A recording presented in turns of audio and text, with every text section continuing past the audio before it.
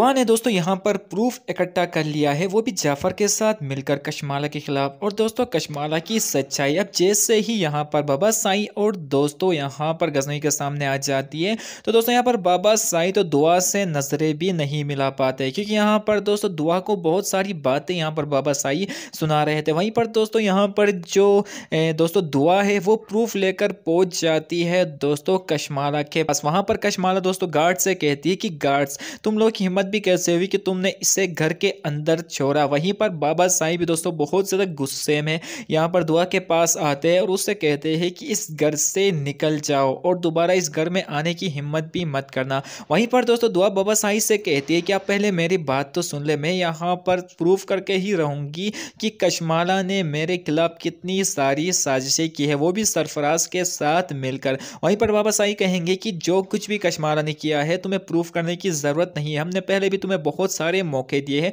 तुमने प्रूफ तो कुछ भी नहीं किया, लेकिन हर बार तुमने हमें धोखा ही दिया है। बेहतर यही है कि यहाँ से तुम चली जाओ। यहाँ पर बाबा साईं किसी भी तरह से दुआ को घर से निकालने की कोशिश करते हैं, लेकिन दोस्तों उसी टाइम वहाँ पर एंट्री हो जाती है जाफ़र की, और जाफ़र बाबा साईं से कहती है कि, रुके बाबा साईं